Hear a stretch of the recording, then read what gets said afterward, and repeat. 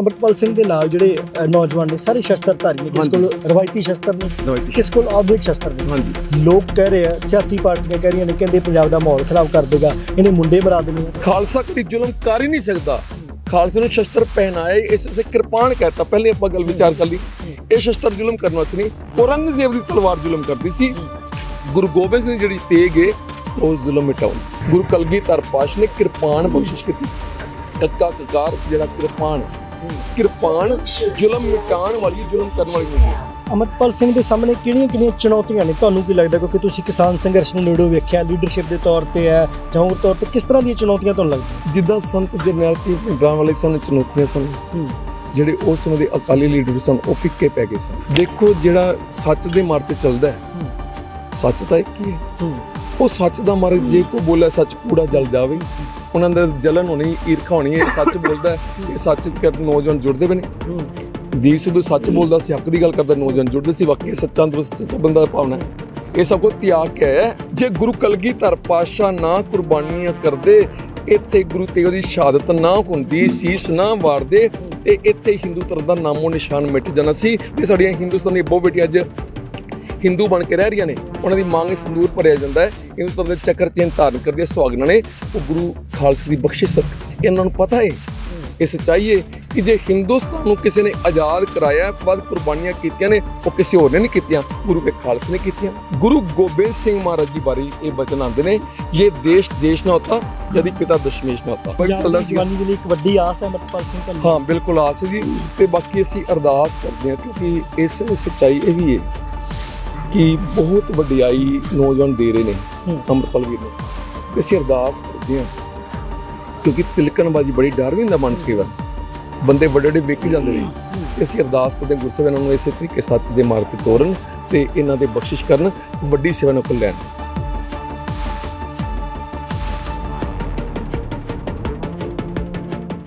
ਪਿੰਡ ਰੋਡੇ ਦੇ ਵਿੱਚ ਪਹੁੰਚੇ ਹੋਏ ਆ ਜਿੱਥੇ ਅਮਰਤਪਾਲ ਸਿੰਘ ਨੂੰ ਵਾਰਸ ਪੰਜਾਬ ਦੇ ਜਥੇਬੰਦੀ ਦਾ ਸਿੱਖ ਰਵਾਇਤਾਂ ਅਨੁਸਾਰ ਮੁਖੀ ਜਿਹੜਾ ਥਾਪ ਦਿੱਤਾ ਗਿਆ।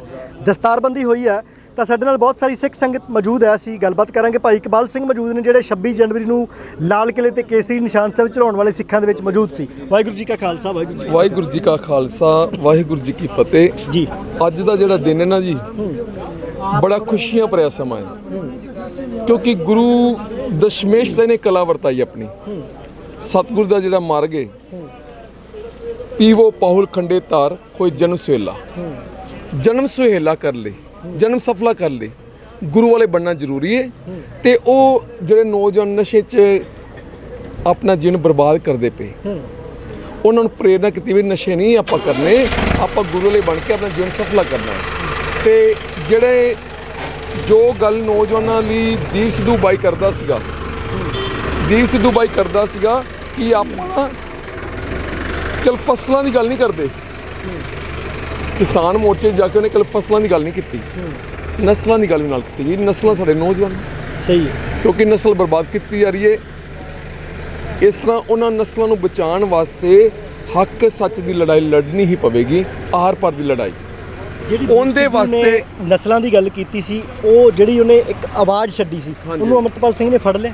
ਦੇਖੋ ਜੀ, ਉਹਦੇ ਅੰਦਰ ਹੀ ਭਾਵਨਾ ਬਣ ਗਈ ਸੀ। ਤੁਸੀਂ ਸੁਣੀਆਂ ਸਪੀਚਾਂ ਵੀ ਆਈਆਂ ਨੇ ਕਿ ਜਿੱਦਾਂ ਉਹਨੇ ਆਪਣੇ ਮਾਤੇ ਜੀ ਨੂੰ ਕਹਿਤਾ ਸੀ, ਮਾਤਾ ਜੀ ਦੇ ਸਾਹਮਣੇ ਉਹ ਸੋਨੂੰ ਕਹਿੰਦੇ ਸੀ ਮਾਤਾ ਜੀ ਨਾ, ਮਾਤਾ ਗੁਰਵਿੰਦਰ ਕੌਰ ਜੀ ਦੀਪ ਸਿੰਘ ਬਾਈ ਦੇ। ਤਿੰਨ, ਚਾਰ, ਪੰਜ, ਛੇ ਪੱਗਾਂ ਲੈ ਸੀ ਆਪਣੇ ਵਾਸਤੇ। ਸ਼ਰੀਰ ਤਿਆਗਣ ਤੋਂ ਪਹਿਲਾਂ ਜਿਹੜਾ ਮਹਾਨ ਸ਼ਹਾਦਤ ਆਪਾਂ ਕਵਾਂਗੇ ਕੌਮੀ ਸ਼ਹੀਦ ਸਾਡੇ। ਉਹ ਸੋਹਣੀ ਸੋਹਣੀ ਪੱਗਾਂ ਬਣਨੇ ਸ਼ੁਰੂ ਕਰਤੀਆਂ ਜੀ।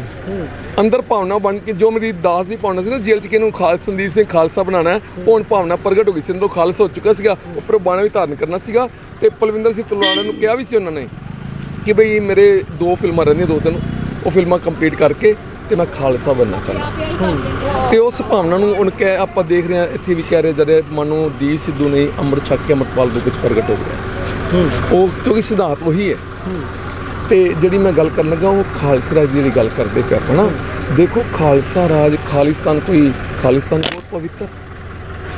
ਮਹਾਰਾਜਾ ਰਣਜੀਤ ਸਿੰਘ ਦਾ ਰਾਜ ਖਾਲਿਸਤਾਨ ਵਾਲਾ ਰਾਜ ਹੈ ਨਾ। ਜੇ ਸ਼ਸਤਰਾਂ ਦੀ ਗੱਲ ਕੀਤੀ, ਅੱਜ ਦੀਪ ਬਾਈ ਦੀ ਥਾਂ ਤੇ ਅਮਰਪਾਲ ਨੇ ਕੀਤੀ ਵੀ ਸ਼ਸਤਰਧਾਰੀ ਨੌਜਵਾਨ ਹੋਣ, ਤੇ ਸ਼ਸਤਰ ਸਾਨੂੰ ਕੋਈ ਜ਼ੁਲਮ ਕਰਨਾ ਥੋੜੀ ਸਿਖਾਉਂਦੇ ਨੇ। ਇਹ ਕੋਈ ਤਲਵਾਰ ਥੋੜੀ ਹੈ। ਇਹ ਕਿਰਪਾਨ ਹੈ। ਕਿਰਪਾਨ। ਗੁਰੂ ਕਲਗੀਧਰ ਪਾਤਸ਼ਾਹ ਨੇ ਕਿਰਪਾਨ ਬਖਸ਼ਿਸ਼ ਕੀਤੀ। ਕੱਕਾ ਕਕਾਰ ਜਿਹੜਾ ਕਿਰਪਾਨ ਹੈ। ਕਿਰਪਾਨ ਜ਼ੁਲਮ ਮਿਟਾਉਣ ਵਾਲੀ ਜ਼ੁਲਮ ਕਰਨ ਵਾਲੀ ਨਹੀਂ ਹੈ। ਇੱਥੇ ਧੀਆਂ ਭੈਣਾਂ ਹਿੰਦੁਸਤਾਨ ਦੀਆਂ ਚੁੱਕ ਚੁੱਕ ਕੇ ਲੈ ਕੇ ਜਾਂਦੇ 22 2200 22 22 ਹਜ਼ਾਰ ਦੀ ਗੱਲ ਵੀ ਕਹੀ ਗਈ ਇਤਿਹਾਸਕਾਰਾਂ ਨੇ ਕੀਤੀ ਹੈ। ਉਹਨਾਂ ਨੂੰ ਗਜ਼ਨੀ ਦੇ ਬਜ਼ਾਰ ਨਗਨ ਕਰਕੇ ਪਤ ਲੁੱਟੀ ਜਾਂਦੀ, ਉਹਨਾਂ ਜ਼ੁਲਮ ਢਾਹ ਜਾਂਦਾ ਉਹ ਕਿੰਨੇ ਬਚਾਇਆ ਉਹ ਕਿਰਪਾਨਾਂ ਲਈ ਨਹੀਂ ਬਚਾਇਆ ਨਾ ਉਹਨਾਂ ਦੀ ਪਤ। ਜੱਸਾ ਸਿੰਘ ਰਾਮਗੜੇ ਜੱਸਾ ਸਿੰਘ ਆਲੂ ਵਾਲਿਆ ਖਾਲਸਿਆਂ ਨੇ ਬਚਾਇਆ ਨਾ ਉਹ ਖਾਲਸੇ ਜਿਹੜੇ ਨੇ ਨਾ ਉਹ ਪੱਤ ਬਚਾਉਣ ਵਾਲੇ ਨੇ। ਤੇ ਜਿਹੜੀ 26 ਜਨਵਰੀ ਗੱਲ ਹੋਈ ਸੀ ਲਾਲ ਕਿਲ੍ਹੇ 'ਚ ਝੰਡਾ ਚੁਲਾਇਆ ਨਿਸ਼ਾਨ ਸਾਹਿਬ ਚੁਲਾਇਆ ਨਿਸ਼ਾਨ ਸਾਹਿਬ ਸਰਬੱਤ ਦੇ ਭਲੇ ਦਾ ਪ੍ਰਤੀਕ ਹੈ। ਨਿਸ਼ਾਨ ਸਾਹਿਬ ਗੁਰੂ ਤੇਗ ਬਹਾਦਰ ਦੇ ਸਾਹਮਣੇ ਸਥਾਨ ਹੈ ਸ਼ੀਸ਼ਗੰਜ ਗੁਰਦੁਆਰਾ। ਧੰਨ ਗੁਰੂ ਤੇਗ ਬਹਾਦਰ ਮਰ ਨੇ ਪੱਤ ਬਚਾਈ ਨਾ। ਲਾਲਾ ਦੌਲਤ ਰਾਏ ਜੀ ਉਹਨਾਂ ਦੀ ਕਿਤਾਬ ਸਵਾਨ ਉਮਰ ਹੈ ਗੁਰੂ ਗੋਬਿੰਦ ਸਿੰਘ ਫਾਰਸੀ ਲਿਖੀ ਉਹਨਾਂ ਨੇ 1906 ਚ ਲਾਹੌਰ ਦੇ ਰਹਿਣ ਵਾਲੇ ਸਨ। ਉਸ ਕਿਤਾਬ 'ਚ ਉਹਨਾਂ ਨੇ ਜ਼ਿਕਰ ਕੀਤਾ ਜਿਹਨੂੰ ਪੰਜਾਬੀ ਛਪੀ, ਸਾਹਿਬ ਕਮਾਲ ਗੁਰੂ ਗੋਬਿੰਦ ਸਿੰਘ, ਲਾਲਾ ਦੌਲਤ ਰਾਏ ਜੀ। ਉਹਨਾਂ ਭੂਮਿਕਾ 'ਚ ਪਹਿਲੇ ਬਚਨ ਲਿਖਿਆ, ਲਾਲਾ ਦੌਲਤ ਰਾਏ ਮੰਦਰ 'ਚ ਕਥਾ ਕਰਦੇ ਸੀ। ਰੋਜ਼ ਕਥਾ ਕਰਦੇ ਸੀ, ਰੋਜ਼ ਕਥਾ ਕਰਦੇ ਸੀ ਗੁਰੂ ਗੋਬਿੰਦ ਸਿੰਘ ਦੀ। ਕਈਆਂ ਹਿੰਦੂਆਂ ਨੇ ਇਤਰਾਜ਼ ਕੀਤਾ ਵੀ ਤੁਸੀਂ ਗੁਰੂ ਗੋਬਿੰਦ ਸਿੰਘ ਕਥਾ ਕਿਉਂ ਕਰਦੇ ਹੋ?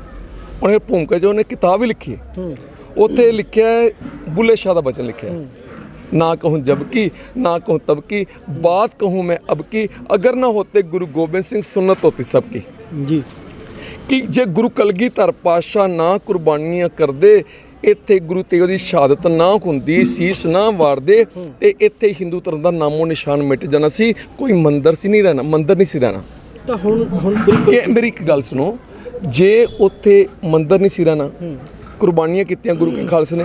ਉਹੀ ਖਾਲਸੇ ਨੇ ਜਿਸ ਗੁਰੂ ਤੇਗ ਦੀ ਸ਼ਹਾਦਤ ਹੋਈ ਜਿਨ੍ਹਾਂ ਨੇ ਕੁਰਬਾਨੀ ਕੀਤੀ ਹਿੰਦੂਆਂ ਦੀ ਰੱਖਿਆ ਲਈ ਕੁਰਬਾਨੀਆਂ ਕੀਤੀਆਂ ਉਹੀ ਖਾਲਸਾ ਜਿਹੜਾ ਗੁਰੂ ਤੇਗ ਦੀ ਬਖਸ਼ਿਸ਼ ਨਾਲ ਗੁਰੂ ਗੋਬਿੰਦ ਸਿੰਘ ਖੰਡੇ ਦੀ ਧਾਰ ਚੋਂ ਪ੍ਰਗਟ ਕੀਤਾ ਉਸੇ ਖਾਲਸੇ ਨੇ ਉੱਥੇ ਪਹੁੰਚ ਕੇ ਨਿਸ਼ਾਨ ਸਾਹਿਬ ਚੁਲਾਤੇ ਕੋਈ ਗੁਨਾਹ ਥੋੜੀ ਕੀਤਾ।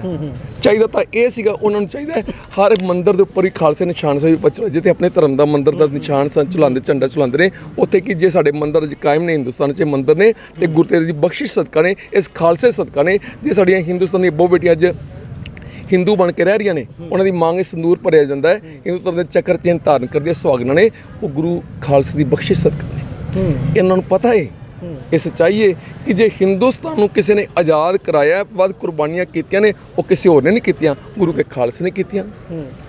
ਪਰ ਇੱਕ ਨੀਤੀ ਹੈ, ਜਿਹੜੇ ਤਾਂ ਇਨਸਾਫ ਜਿੱਦਾਂ ਅੱਲਾ ਯਾਰ ਖਾਨ ਜੋਗੀ ਵੀ ਆਖਦਾ ਹੈ, ਇਨਸਾਫ ਕਰੇ ਜੀ ਮੈਂ ਜਮਾਨਾ, ਇਨਸਾਫ ਕਰੇ ਜੀ ਮੈਂ ਜਮਾਨਾ, ਤਾਂ ਯਕੀਨ ਹੈ, ਗੁ- ਕਹਿ ਦੇ ਗੁਰੂ ਗੋਬਿੰਦ ਸਿੰਘ, ਆਸਾਨੀ ਕੋਈ ਨਹੀਂ ਹੈ।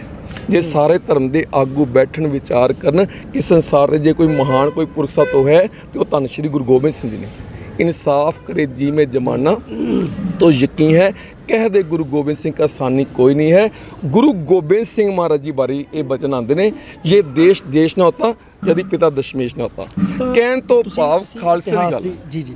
ਤਾਂ ਹੁਣ ਜਿਹੜੇ ਲੋਕ ਅਮਰਤਪਾਲ ਸਿੰਘ ਬਾਰੇ ਤੁਸੀਂ ਕਹਾਂ ਵੀ ਸਾਡੇ ਸਿੱਖਾਂ ਦੇ ਕੋਲੇ ਤਲਵਾਰ ਨਹੀਂ ਕਿਰਪਾਨ ਹੈ ਕਿਰਪਾਨ ਅਮਰਤਪਾਲ ਸਿੰਘ ਦੇ ਨਾਲ ਜਿਹੜੇ ਨੌਜਵਾਨ ਨੇ ਸਾਰੇ ਸ਼ਸਤਰਧਾਰੀ ਨੇ ਕਿਸ ਕੋਲ ਰਵਾਇਤੀ ਸ਼ਸਤਰ ਨੇ ਕਿਸ ਕੋਲ ਆਧੁਨਿਕ ਸ਼ਸਤਰ ਨੇ।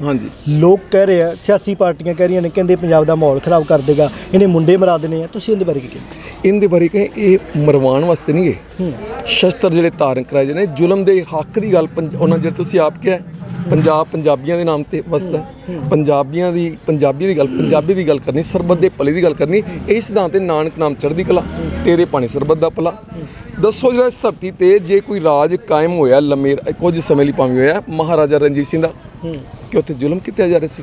ਮਹਾਰਾਜਾ ਰਣਜੀਤ ਸਿੰਘ ਜਿਹੜੀ ਫੌਜ ਸੀ ਜ਼ੁਲਮ ਕਰਦੀ ਸੀ। ਖਾਲਸਾ ਕਦੀ ਜ਼ੁਲਮ ਕਰ ਹੀ ਨਹੀਂ ਸਕਦਾ। ਖਾਲਸੇ ਨੂੰ ਸ਼ਸਤਰ ਪਹਿਨਾਏ ਇਸ ਸੇ ਕਿਰਪਾਨ ਕਹਿਤਾ। ਪਹਿਲੇ ਆਪਾਂ ਗੱਲ ਵਿਚਾਰ ਕਰ ਲਈ। ਇਹ ਸ਼ਸਤਰ ਜ਼ੁਲਮ ਕਰਨ ਵਾਸਤੇ ਨਹੀਂ ਔਰੰਗਜ਼ੇਬ ਦੀ ਤਲਵਾਰ ਜ਼ੁਲਮ ਕਰਦੀ ਸੀ। ਗੁਰੂ ਗੋਬਿੰਦ ਸਿੰਘ ਜਿਹੜੀ ਤੇਗ ਹੈ ਉਹ ਜ਼ੁਲਮ ਮਿਟਾਉਣ ਦੀ।